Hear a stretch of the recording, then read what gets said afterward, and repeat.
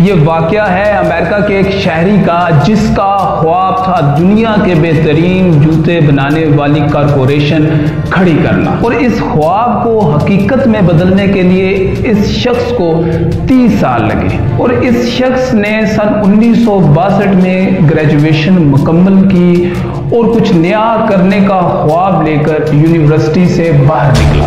इस जमाने में जैपनीज कैमराज अमेरिका में अपनी पायदारी की वजह से बहुत मकबूल थे। इसने इसी पायदारी को सामने रखते हुए जैपनीज शूज़ को अमेरिका में इंट्रोड्यूस कराने का फैसला किया। इसने जूतों के कारोबार का आगाज़ अपनी गाड़ी की डिक्की से किया। ये शख्स जैपनीज जूतों से अपनी गाड़ी को भर लेता और गलियों, चौराहों और रोड पार्किंग पर इन जूतों को बेचता। पहले ही साल इसने 1300 जोड़े बेचे, जिसकी मालियत 8000 डॉलर थी। दूसरे साल इस शख्स की आमदनी बढ़कर बीस हज़ार डॉलर पर पहुँच गई और फिर 1966 में इस शख्स ने खुद का स्टोर खोला। 1968 में इस शख्स ने मार्केट में नए जूतों का डिज़ाइन मुतारफ कराया, जो कि अवामुल नास में इस कदर मकबूल हुए कि इस साल इसकी कंपनी ने 30 करोड़ डॉलर का बिज़नेस किया।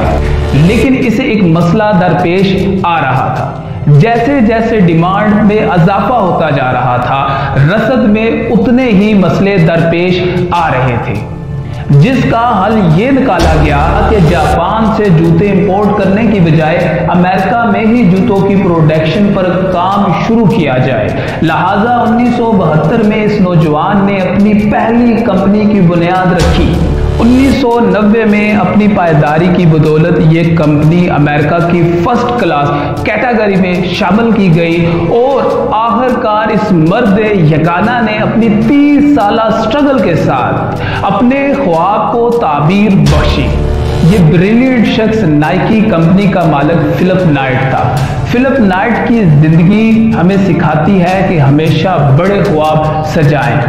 क्योंकि जो चीज़ आपके तस्वर में नहीं, वो चीज़ कभी भी हकीकत का रूप नहीं डाल सकती। और जिसका कोई ख्वाब नहीं, इसका कोई मुस्तकबिल भी नहीं। और अपनी नाकामियों से कभी भी मत घबराएँ, क्योंकि पस्त भी इसी को किया जाता है जिसको कुदरत ने बुलंद करना उठो। ये मंजर शब्दाब देखने के लिए कि नींद शर्त नहीं, ख्वाब देखने के लिए।